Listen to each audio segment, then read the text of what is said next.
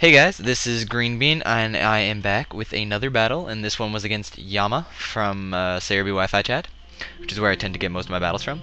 So here we go. So I lead off with my Forretress, and he leads with the Kangaskhan.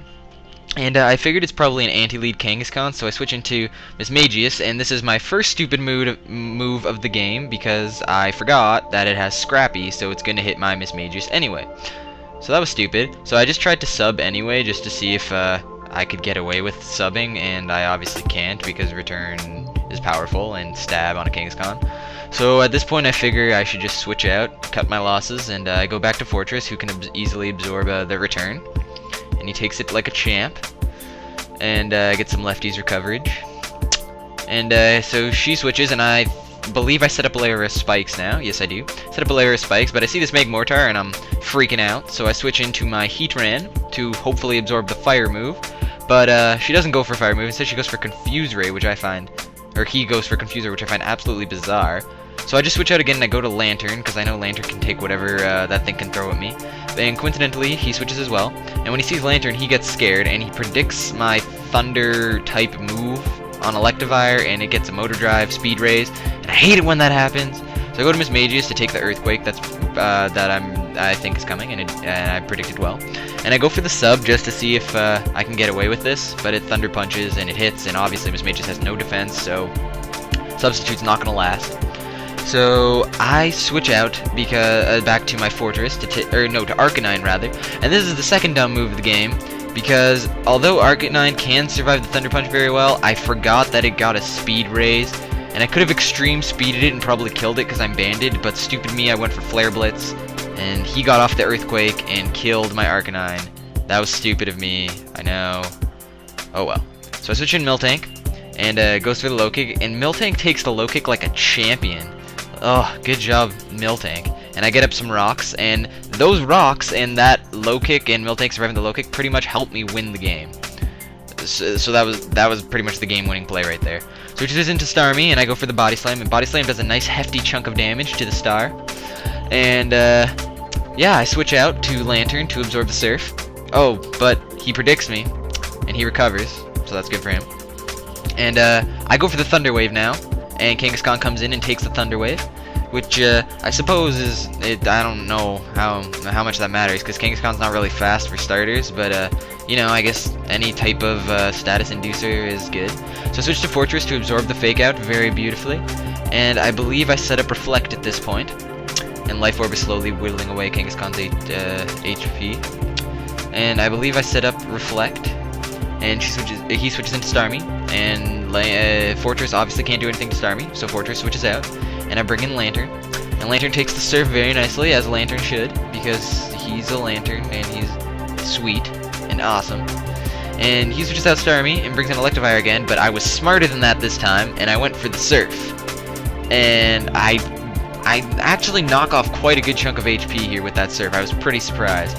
But I know Lanturn is not going to handle the Earthquake well, so I switched to Forretress. And he actually goes for the Thunder Punch, which I found kind of bizarre, because that would have healed me uh, if I hadn't switched. So he switches out, seeing Forretress, and I go for the Spikes again, I believe. Oh no, I go for the Payback, anticipating the switch, and that was a sweet play by me, because that actually knocks out his Starmie. And so I was pretty proud of that play because I was like, oh wait, Starmie's gonna come. Oh, she's payback, and oh, I killed it. So he brings out Magmortar, and I switch into Lanturn because I'm I, I thought for sure it wasn't gonna use fire move again. It's probably gonna go for Confuse Ray like it did last time. But actually Lava Plumes, and that's not a problem for Lanturn because Lanturn's, again freaking sweet. And she switches out Magmortar, and as you can see, there's a lot of switching going on in this battle. So the uh, entry hazards that I put up are really useful. So I go for the Surf, uh, and if it stayed in, but it didn't. And Heracross doesn't handle the Surf nicely because it doesn't have uh, that good defense. So I switch in Forretress to absorb the close combat because Lanturn can't take a physical hit. It, well, it can, but a close combat from a Heracross probably not. So switches out. The the Heracross switches out, brings back she brings back in Togekiss, and I think I go for the Reflect here. And uh, yes, I do. And obviously Forretress can't handle anything this Togekiss has to offer, especially if it has Aura Sphere. So I switch out to Lanturn again, because uh, Lanturn can handle anything, because it's friggin' awesome. Again, yeah, I'm gonna keep saying that until you uh, register that it's freaking awesome. And uh, He goes for the Wish, and Wish is making me a little nervous. But I Thunder Waved just because I know uh, Togekiss is pretty fast and it can be hella annoying.